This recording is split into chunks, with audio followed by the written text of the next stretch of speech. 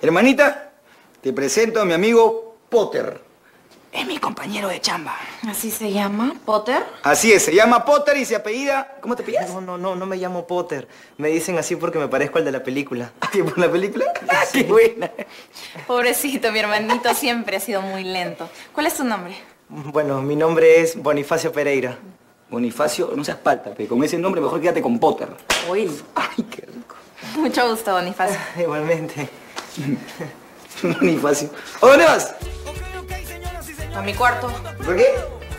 Porque supongo que te quieres quedar a solas con tu amigo, ¿no? No, no, no, para nada, no, no.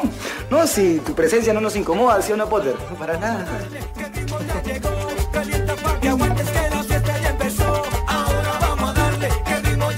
Así como lo ves a mi amigo, todo flaco, acabado, sin vida, eh, es un chico muy alegre, ¿sí o no, Potter? Así es. Sí, claro. Potter, cuéntale cómo entraste a la chamba. Eh, mi papá es el socio de Raúl. Eh, no, sí, sí, claro, también, pero, pero, pero también entró por su propio esfuerzo. Es un chico muy dedicado, ¿sí o no? Así. Potter es el más capo de la productora. Qué bien. Mm. Hermanita, ¿por qué no le das tu número telefónico? ¿Ah? Para que te llamen, sean amiguitos.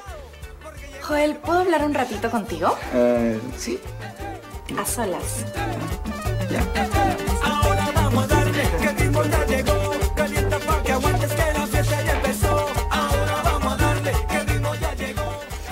Potter, el Harry Potter.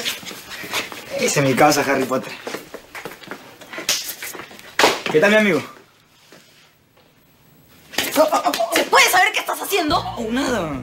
Joel, ¿me estás buscando enamorado? No, no, enamorado no, pero un amiguito o algo así. ¡Yo no necesito tus amiguitos! ¡Au, au, au! Mírate, te estás convirtiendo en una solterona. Ni siquiera tienes amigos. Ay, todo por pensar en el Ricolás. ¿Por qué siempre tienes que meter a Nicolás en esto? ah? No, porque es la verdad. Ya, solo te vas a olvidar de él cuando conozca gente.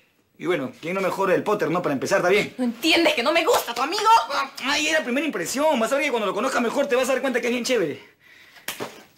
Qué pesado eres. Hermanita, soy tu hermano mayor. Y como tal, me preocupo.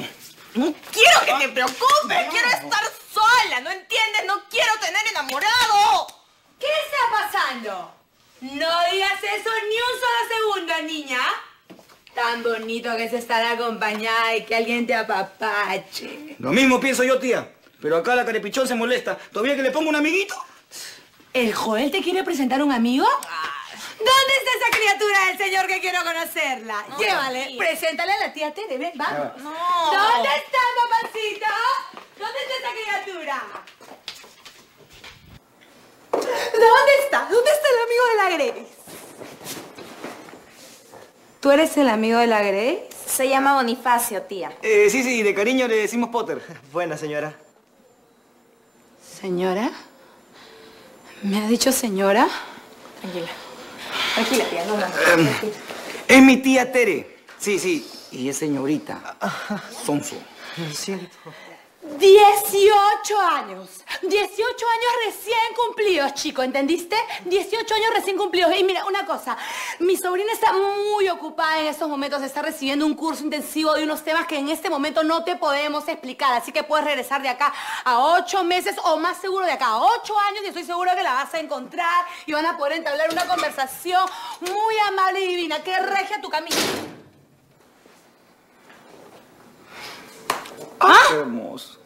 ¿Cómo se te ocurre presentarle un nerd a la Grace? Gracias, tía, por entenderme. Imagínate el Bonifaz reemplazando a Nicolás.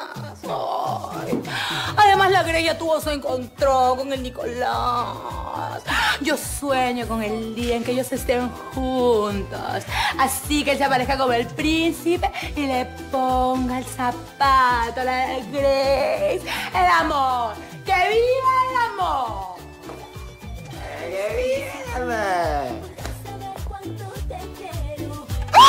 ¡Ah, Nicolás!